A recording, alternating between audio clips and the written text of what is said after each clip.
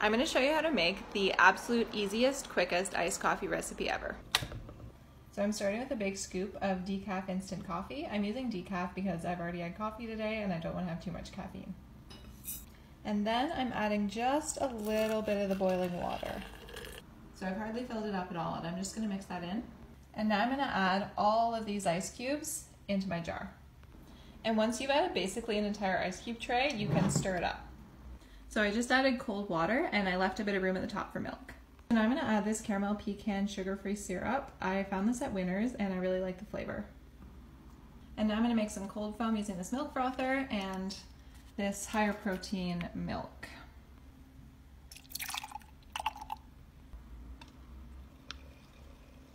And just to go back to that sugar-free sweetener that I use, the reason I have that isn't because sugar is bad or you should never sweeten your coffee with it. I just drink this all day and if I have that much sugar, it wouldn't make me feel very good.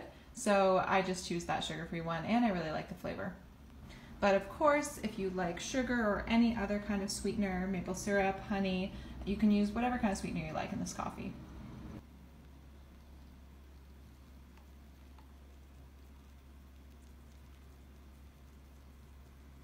And now I have the most delicious, easiest iced coffee with cold foam to have while I do my work.